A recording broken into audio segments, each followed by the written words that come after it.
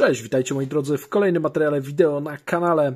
Dzisiaj kolejny produkt e, TP-Linka z serii Archer, konkretnie model Archer A55 Pro.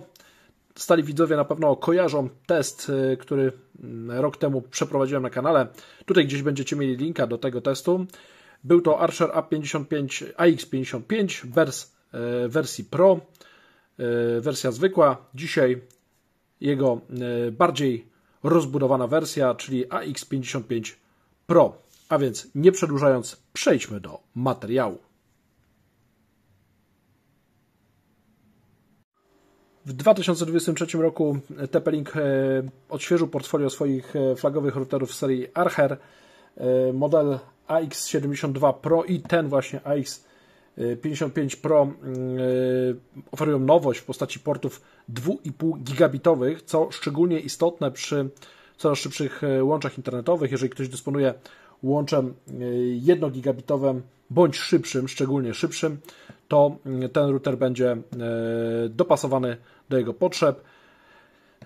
Oczywiście ci, którzy posiadają też wolniejsze łącza, mogą mm, skorzystać z dobrodziejstw tego modelu, ponieważ te 2,5 gigabita jest to jeden z portów RJ45, ethernetowych, ale można go też wykorzystać jako port w sieci wewnętrznej. Czyli jeżeli macie jeden e, główny komputer w domu, gdzie macie, czy też NASA, gdzie macie, e, potrzebujecie dużego transferu, to możecie podłączyć e, też polanie przez ten port to urządzenie, ten komputer czy ten NAS, ten serwer i będziecie mieli szybkie transfery w sieci lokalnej. Jeżeli macie szybszy internet powyżej 1 gigabita, możecie skorzystać z dobrodziejstw e, takich łączy i też macie e, szybszego, mm, szybszy Ethernet do wyjścia w świat. Z takich bardziej e, przyziemnych, prozaicznych powiedziałbym rzeczy mamy oczywiście Wi-Fi 6, to w tej chwili już jest standard. Mamy One Mesha, czyli jedną prosto konfigurowalną sieć Wi-Fi w całym domu, czy w całym domu, czy w mieszkaniu. Jeżeli chodzi o prędkości, to mamy prawie 3 mm, gigabity E, bezprzewodowo. Konkretnie jest to, e, słuchajcie, w różnych pasmach, oczywiście różne prędkości, do 2402 megabitów na sekundę w paśmie 5 GHz i do 574 megabitów w paśmie 2,4 GHz. Tutaj już dużo e, nie jesteśmy w stanie poprawić tych parametrów. Włącznie 2976 megabitów na sekundę, czyli no nieco mniej niż te 3000, ale umówmy się, jest to tylko i wyłącznie zaokrąglenie. Mamy cztery bardzo wysokowydajne y, anteny, które wielokrotnego punkt, wielokrotne punkty wyjścia, wejścia, które potrafią korzystać z dobrodziejstw kształtowania wiązki, czyli tzw. Tak beamforming. Mamy oczywiście OFDMA, mamy też to, co istotne, słuchajcie, port USB 3.0 tutaj jest, ale on tak naprawdę jest 3.1 generacji pierwszej, czyli te 500 MB na sekundę. Jeżeli podłączycie tam szybkiego SSD, powinniście E, w sieci lokalnej e, osiągnąć maksymalnie oczywiście, jeżeli chodzi o udostępnianie tych plików, chociaż e, to w zależności od oczywiście od protokołu, ale port USB 3.0 jest, czyli przyzwoita prędkość w sieci lokalnej, jeżeli chodzi o takiego budowę takiego prostego NASa, też będzie możliwa do osiągnięcia. Bardzo cenię sobie routery, które posiadają tą funkcjonalność, bo mm, nie musicie dokupować dodatkowych urządzeń, możecie w prosty sposób podłączyć nawet dysk twardy e, na USB 3.0, e, na przykład 4 terabajtowy i będziecie mieli taki prosty serwerek, prosty dysk sieciowy w domu, dostępny po szybkiej, krótkiej konfiguracji, a ta konfiguracja jest możliwa poprzez e, oczywiście urządzenia, poprzez interfejs www, jak również przez znaną i lubianą aplikację Tether od TP-Linka. Całością zarządza procesor Qualcomma, uznany producent 1,5 GHz, zegar, 3 rdzenie i 512, jeżeli dobrze pamiętam, megabajtów pamięci RAM. To wszystko, e, przynajmniej na papierze, e, daje mm, pewność, że mocy Wam nie zabraknie. To, co wszystkich będzie zapewne interesować, która wersja sprzętu, już Wam e, podaję model AX55 Pro, wersja europejska, wersja 1.0 Pozbywamy się folii i zobaczymy, co producent jeszcze tutaj na opakowaniu e, podaje. Wi-Fi 6 to standard. Tutaj mm, w tej chwili ten Wi-Fi 6 na mm, e, paśmie 5 GHz umożliwia nam strumieniowanie nawet wideo w rozdzielczości 8K. Mamy oczywiście technologię Smart Power Saving, czyli oszczędzanie energii. Wstecznie jest kompatybilny ze standardami AX, ACN. On ma też taką ciekawą funkcjonalność w przypadku korzystania ze starszych urządzeń które nam blokują jakby maksymalne transfery, on jakby nie wpływa na, to na wydajność sieci Wi-Fi, potrafi sobie jakby podzielić tą sieć i szybciej obsługiwać te nowsze standardy, a starsze nie powodują y, znacznego spadku wydajności. Mamy też, tak jak mówiłem, o tych dwóch portach LAN, o portach LAN 1 gigabitowych i o porcie LAN WAN 2,5 gigabitowym. Tutaj producent o tym wspomina. Możemy mm, albo skorzystać z e, połączenia LANowskiego 2,5 GHz, 2,5 gigabita, albo e, z połączenia mm, z siecią internet z taką prędkością. E, oczywiście, jeżeli jesteście szczęśliwym posiadaczem łączy światłowodowych o takich przepustowościach. Mamy oczywiście mm, Home Shielda, TP-Link, ale to jest płatne, więc nie będę nad tym się tutaj rozwodził. WPA3, oczywiście to też jest standard w tej chwili przy Wi-Fi 6. Mamy mm, dobry zasięg w domu, te cztery anteny tak będą ten sygnał kształtować, żeby e, zapewnić optymalny zasięg w całym e, obszarze, jak największym obszarze. Mamy też możliwość tutaj e, skorzystania sobie z klienta VPN, oczywiście jeżeli taka będzie potrzeba. Z boku mamy powtórzone parametry tego urządzenia, więc e, te szybkie Wi-Fi w dwóch zakresach, cztery anteny o dużym zasięgu.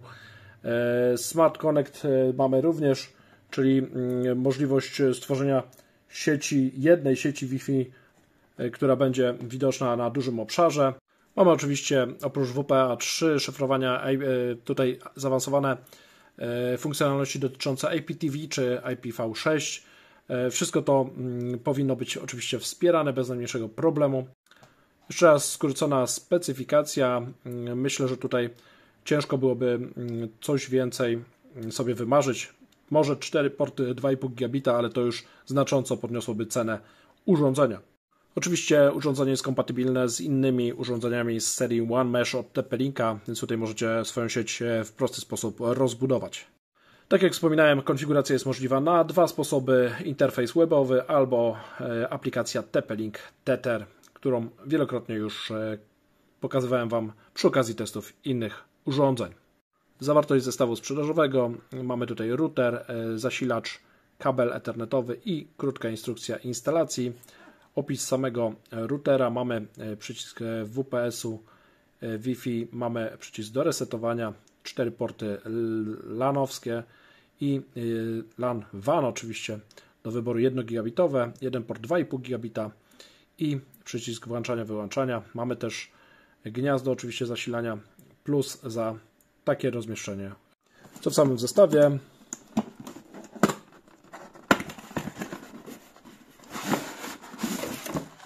Instrukcja obsługi. To nas oczywiście mało interesuje. Mamy zasilacz. Od razu sprawdzę Wam, jaka jest tutaj pobierana moc, bo to w dzisiejszych czasach też jest istotna kwestia. A więc mamy, słuchajcie, 18 W, 12 V, 1,5 A, 18 W, ale to jest maksymalne zużycie prądu. Oczywiście przy yy, w momencie, kiedy będziemy naprawdę dociskać to urządzenie. Sam sprzęt, może o nim jeszcze za chwilę i mamy do tego kabelek RJ45 dobry do pierwszej konfiguracji. Kabelek w zestawie jest kategorii 5E. Dobrze, otwórzmy sprzęt. Zobaczmy co w środku, co oferuje.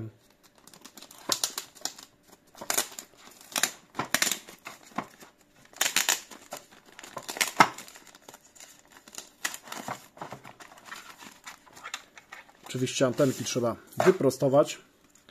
Mamy folijkę na panelu przednim.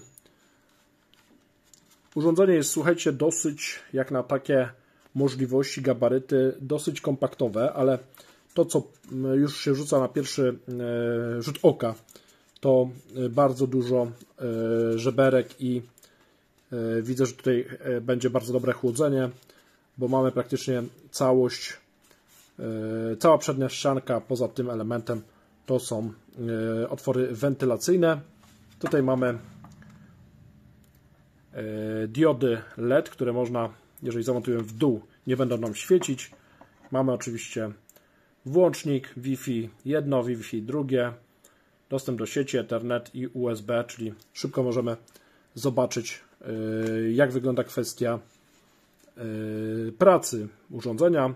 Mamy miejsce oczywiście na powieszenie na ścianie, plus, ale mamy również dwa takie miękkie, dwie takie miękkie gumowe wypustki, żeby nie rysować powierzchni. Tutaj już niestety plastik.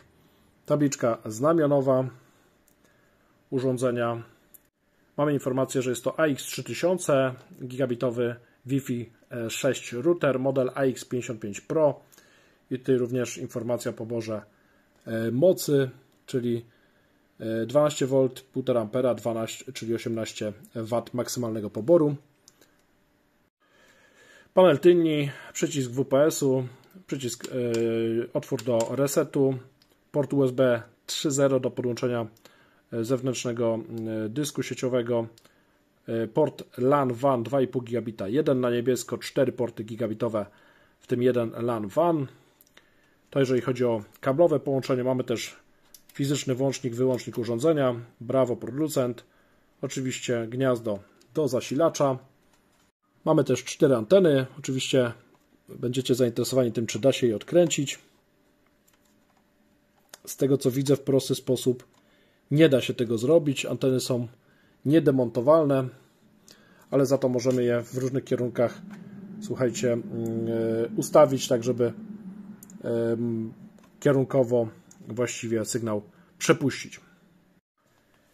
Jeżeli e, planujecie zakup nowoczesnego routera e, do większego mieszkania bądź domu i nie chcecie zmieniać go za rok czy dwa, warto rozważyć model AX55 Pro, ponieważ za niezbyt wygórowaną cenę, bo nieco ponad 400 zł, możemy nabyć sprzęt, który jest odporny na mm, e, przyszłościowe zmiany szybkości łącza. Jeżeli nawet w tej chwili nie posiadacie łącza o przepływności mm, ponad 1 gigabit na sekundę takiego światłowodu, to jeżeli w przyszłości e, takie łącze będziecie posiadać, ten sprzęt też będzie w stanie je obsłużyć. Pamiętajcie też, że zawsze możecie e, skorzystać z łącza 2,5 gigabita chwilowo w sieci lokalnej, a ze światem łączyć się za pomocą bardziej standardowego 1 gigabitowego portu WAN.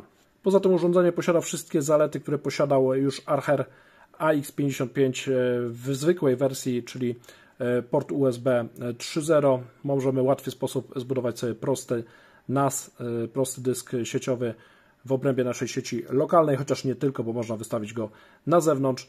Mamy również dobre anteny, szybki procesor Qualcomma, jak również relatywnie nieduży pobór mocy. Samo urządzenie ma też ciekawy design i przez cały okres testów E, nie zauważyłem, aby e, wydarzyły się jakieś nieoczekiwane restarty czy zadławienia w sieci. Przez cały czas pracował stabilnie. Jestem ciekawy Waszych opinii e, co do tego typu routera. Czy korzystacie z bardziej zaawansowanych routerów, czy zadowalacie się tymi urządzeniami, które, które dostarcza Wam operator internetu? Dajcie znać w komentarzach poniżej. Jeżeli materiał się Wam spodobał, to proponuję łapki w górę oraz y, subskrypcję kanału, najlepiej z dzwoneczkiem, aby nie ominął Was żaden nowy film. Oczywiście szerujcie, udostępniajcie ten materiał, aby niósł się po sieci, a ja na samym końcu podrzucę Wam jeszcze kilka innych ciekawych urządzeń od TP-Linka. Hej, hej, do kolejnego materiału.